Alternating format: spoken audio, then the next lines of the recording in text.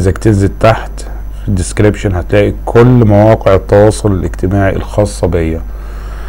أنا برد عليكم كلكم ما بسيبش حد إلا لو كان في أسئلة عبثية مفيش داعي إن إحنا نتكلم عنها أو شيء. النهاردة مش هديكم درس ولا هديكم شروحات هديكم قصة. ما بتقلش غرابة ابدا عن القصص اللي أنا بحكيها لكم. وأرجع أقول لكم أنا إنسان مجرد راوي فقط مش أكتر. ماليش علاقة بأي شيء تاني.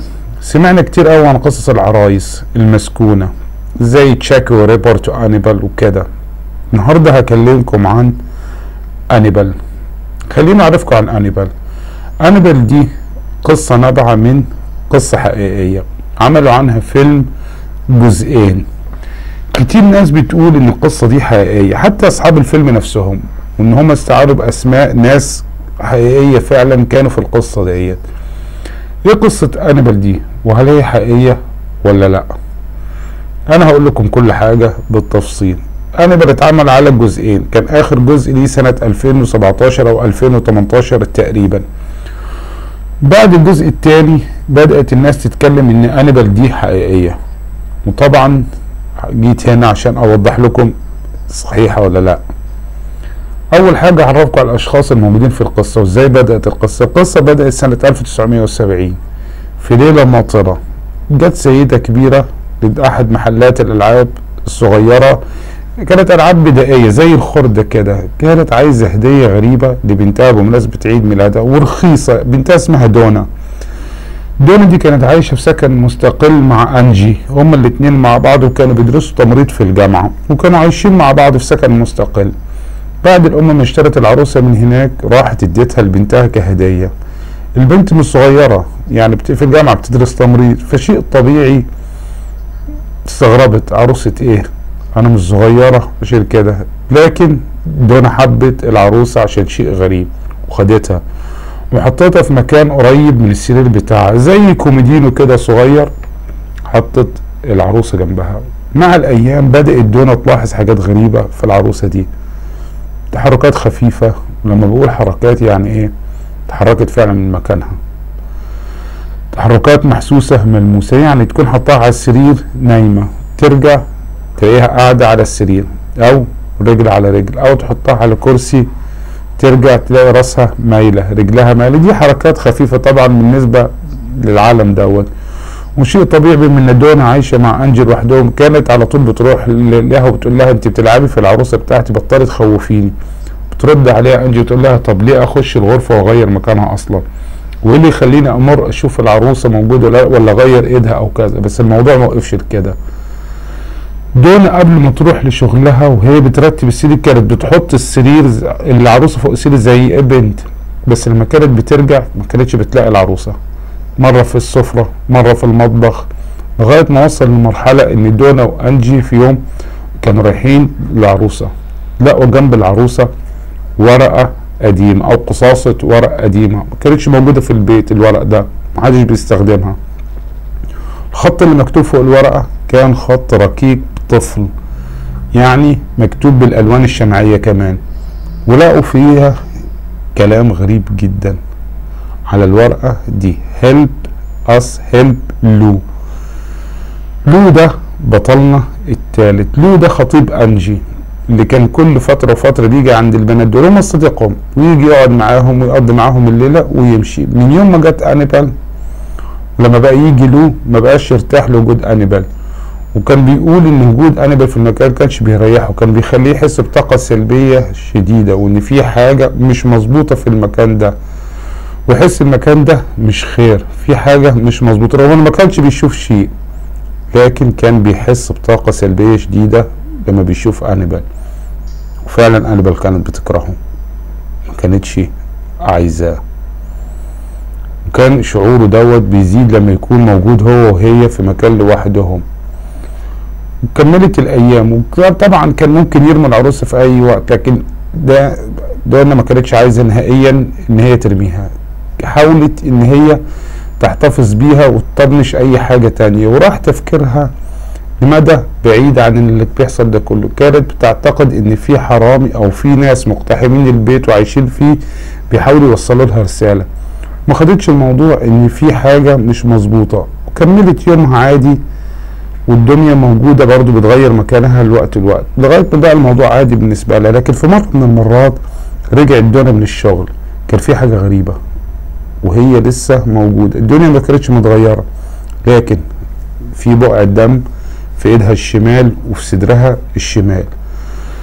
طبعا دونا مسكت العروسة وقعدت تكشف عليها الدم ده منين ومصدره فين. الغريب والعجيب في الموضوع إن مصدر الدم ده العروسة نفسها العروسة بتنزف العروسة القماش. مش بتنقط لا الدم بيخرج منها هي. لغاية هنا دونا اتصلت بوسيطة روحانية. قالت لها تعالي شوف إيه الموضوع. الوسيط الروحاني فعلا قرر إن يجي عشان يشوف الدنيا دي وضعها إيه. ووصل البيت وحست إن في حاجة مش مظبوطة. وقالت لهم الشقة مسكونة بروح طفلة صغيرة اسمها انيبال بنت ماتت مقتولة من زمن بعيد جدا. لكن كانت مقتولة بصورة غامضة وإن انيبال حاسة بالوحدة وحابة تتقرب من البنتين دول وحابة تعمل علاقة معاهم. طبعا لأن البنتين قلبهم طيب معرضوش وجود الدنيا وقالوا إحنا موافقين مفيش أي مشاكل خليها تتواصل معاها ده اللي حصل. ومجرد ما قبلوا البنتين وعلى الظواهر الغريبة اللي عمالة تحصل خدوا على الوضع ده. وقالوا دي بنت صغيرة أو روح شريرة أو حاجة صغيرة لغاية ما له خطيب أنجي جاء يقضي الليلة معاهم في البيت. وقاعدين بيخططوا إن هم يروحوا رحلة ميدانية. فجابوا خرايط وقاعدين بيتكلموا وبيتناقشوا عادي جدا. سمعوا صوت خربشة أو صوت حاجة بتسحب من غرفة دونا. والوقت ده دونا ما كانتش في البيت كانت في الشغل بتاعها. الصوت جاي من غرفتها. لو وانجي قاموا عشان يشوفوا غرفة دونا إيه اللي بيحصل فيها. وهم رايحين في الممر كان ماشي لو حاسس إن في حد وراه. لما بص وراه مفيش حد. انيبال قاعدة في مكانها على الكرسي. وفعلا كانت هناك من الأول. قبل ما يوصلوا غرفة دونا حس بحاجة مسكت رجله. زعق. وزعقت أنجي. لفوا الاتنين ورا. لقوا أنابيل قاعدة على الكرسي. بس لا دي على الأرض. وراسها نازل وقدامها ورقة did you miss me يعني هل افتقدتموني؟ أنجي عارفة عن الموضوع وقالت للو عن اللي قالته الوسيطة الروحانية بالظبط وقصة الدمية دي بس لحد النهاردة كان له ما كانش بالع الموضوع ده وكان بيكره الدمية دي كتيرة جدا وبيحس باكتئاب وخوف وطلب منهم كذا مرة إن يتخلصوا منها. بس هي كانت بتقول له لا ما أقدرش دي عيد دي هدية عيد ميلاد دونا ماليش تصرف فيها. في يوم من الأيام قرر لون يقضي الليلة معاهم. ونام تحت في الصالون والبنات في غرفهم فوق. صحي في نص الليل على هدوء شديد. مفيش حاجة حواليه. حط دماغه وصحي تاني. وحس إن في حد موجود. سمع صوت. لما جاي يقوم ما قدرش يتحرك نهائيا. كان مشلول راسه بس اللي بتتحرك. حتى صوته مش قادر يحركه.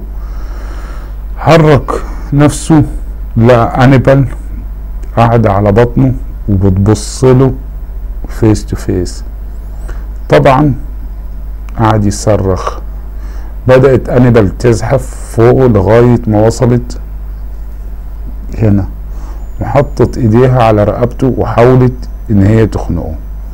بعد كل ده لو اكتشف إن هو كان قاعد بيحلم أو إن ده كابوس وفاق من الكابوس دوت وحكى للبنتين وقال لهم لازم تتخلصوا من العروسة ديت. والاتنين رافضين حبا في البنت أنيبال.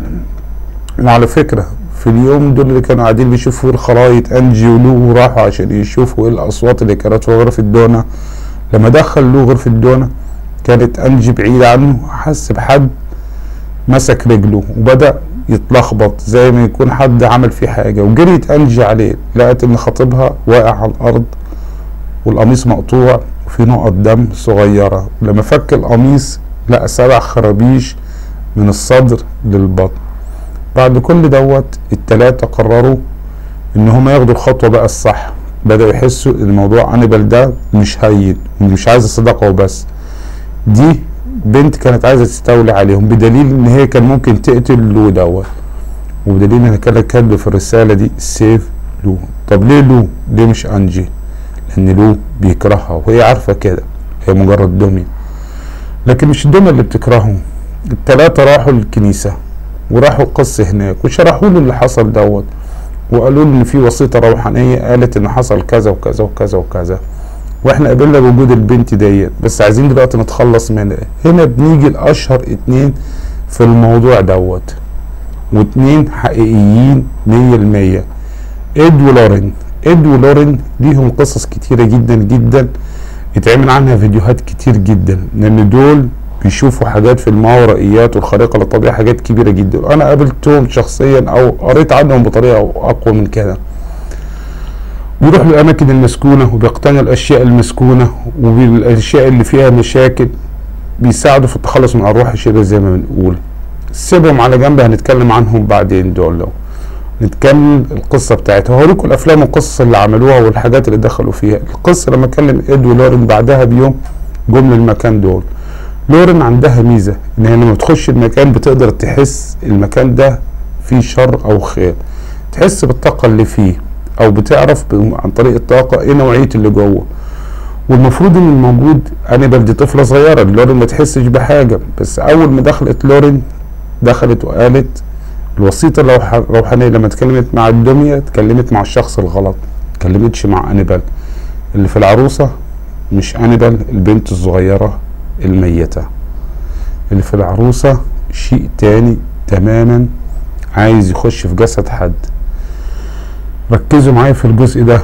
لورين لما حست بالموضوع ده وكشفت على الدمية قالت لهم إن الدمية مش ملبوسة.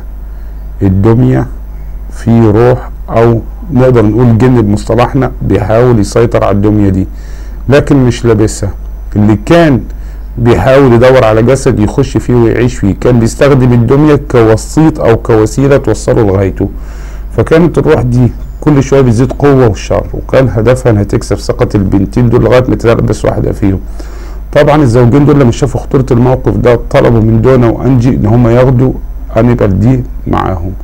إد ولورين خدوا الدمية معاهم وراحوا عملوه وحطوها في متحف هم عاملينه. المتحف ده موجود في القبو في ال basement تحت. كل ما بيروحوا مكان بيمسكوا حاجة أو بيشوفوا حاجة يوثقوها بياخدوا حاجات زي دي كتذكار يخلوها معاهم. يعني مثلا لما راحوا الموضوع انيبال فلما ينهوا الموضوع بيروحوا واخدين انيبال يحتفظوا بيها عندهم عشان ما تكونش شر لحد تاني تكون تحت السيطرة وتحت المتابعة. وأي حاجة تانية خارقة للطبيعة برضو بيحتفظوا بيها في المتحف بتاعهم ده. وفتحوه للجمهور كذا مرة على فكرة أكتر من مرة. وبيحطوه عندهم زي متحف تحت وخدوا أنيبال بالقبو بتاعهم. والمتحف مفتوح للناس عشان تبقوا عارفين إيه دولارين. ومعروف مكانهم في أمريكا وكل شيء. وكان في واحد قبل كده عمل فيديو عنهم برضو. بعد كده جاء قسيس وشاف أنيبال وتعصب. ومسك العروسة ورماها في الأرض وهو في المتحف وداس عليها برجله. ولا أنت مجرد دمية لن تستطيع أن تفعلي أي شيء. كان متعصب جامد إد ولورين كانوا بيبصوا له باستغراب؟ وإد قال له أنت المفروض ما كنتش عملت كده. لما مشى القس دوت بعدها تقريبا بساعة عمل حادثة كبيرة جدا جدا. ونجا من الحادث ده بأعجوبة شديدة جدا. في حادثة تانية برضو ان كان في طالب هو وصاحبته راحوا لإد ولورين. بعد ما سمعوا الناس عن موضوع أنابيل قال له أنا عايز أشوف العروسه دي ونزل المتحف تحت زي أي اتنين بيزوروا يتفرجوا على الحاجات اللي تحت؟ ولما راحوا عشان يشوفوا أنابيل محطوطة في صندوق إزاز. وشكلها cute جدا بس يعني بتخوف. دي أنابيل الحقيقية مش أنابيل اللي أنتوا بتشوفوها في الفيلم. شكلها مخيف مش اللي أنتوا بتشوفوها في الفيلم دوت. فعلا مرعب زي اللي جه في بالكم. تحس إن هي بنت صغيرة وما تكدبش بس هي كلها رعب. وده اللي قاله الولد لما شاف الأنابيل وخبط على الإزاز اللي هي محطوطة فيه. وقعد يتمسخر عليها. أنت بتعملي حاجة أنت ما تقدريش تعملي شيء كمراهق أي مراهق. وإذا كنت هتأذي ائذيني أنا. وقعد يضحك هو وصديقته على الدميه دي. أو بمعنى صح اتحدى الدنيا الدنيا ان يأذيها هنا اد قال له انت لازم تمشي. كفاية عليك كده اللي انت عملته ده غلط. بعد ثلاث ساعات الولد عمل حادثة كبيرة بالموتوسيكل بتاعه وتوفى. وطبعا بعد كده ما بقاش في حد يجرؤ انه يروح يشوف أنيبال تاني. واللي يشوفها ما كانش بيتحداها أو يكلمها. ادو لورن قالوا إن هي محبوسة بشرها بالطلاسم بتاعتها أو التعويذ بتاعتها أو الكلمات الدينية زي ما بيقولوا هناك محبوسة بشرها هنا. بس إذا حد استفزها تدي أسوأ ما عندها. مش الدمية اللي مع الدمية. دي قصة أنيبال من مصدرها. طيب إيه التفسير أو الرأي الشخصي بتاعي أنا عن أنيبال؟ أنيبال ممكن نقول إن هي كانت عروسة أو دمية كوسيط لنوع من أنواع الطلاسم القوية جدا. واللي عمل الطلسم على الدمية ديت كان شخص كافر جدا جدا. وبالتالي جسد شيطان أو جسد جن كبير جوه الدمية دي وحبسه الجن دوت عايز يطلع بأي طريقة فبيبتدي يأذي الناس يبتدي يدور على جسد وسيط عشان يقدر يسكن فيه.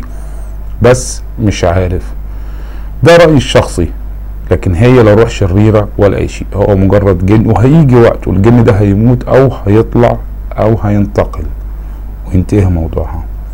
دي قصة أنيبال الحقيقية اللي أنتوا طلبتوها مني. أتمنى أنها تكون عجبتكم واشوفكم على خير الحلقة الجاية إن شاء الله. مع السلامة.